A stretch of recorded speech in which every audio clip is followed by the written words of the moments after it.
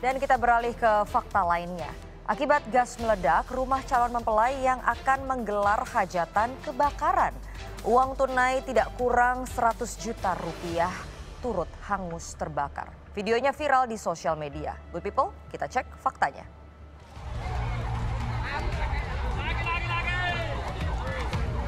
Api membumbung tinggi, melalap nyaris seluruh rumah dan area yang sudah disiapkan untuk hajatan di Desa Jipang, Kabupaten Goa, Sabtu siang.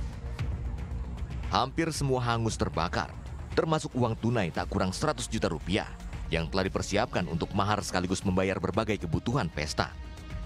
Kejadian direkam dan diunggah oleh sejumlah tetangga. Videonya kemudian viral di sosial media. Hasil cek fakta, rumah merupakan kediaman calon mempelai pria. Diduga kebakaran terjadi karena tabung gas di dapur tempat memasak sajian hajatan meledak. Upaya pemadaman berlangsung secara gotong royong dengan alat seadanya. Tak banyak pula yang akhirnya bisa diselamatkan dari kobaran. baik pakaian, tempat eh, tamu itu semua terbakar karena eh, api begitu cepat melahapnya. Eh, Begitupun juga uang panas saya tidak bisa saya selamatkan. Penyebab pasti kebakaran masih dalam penyelidikan.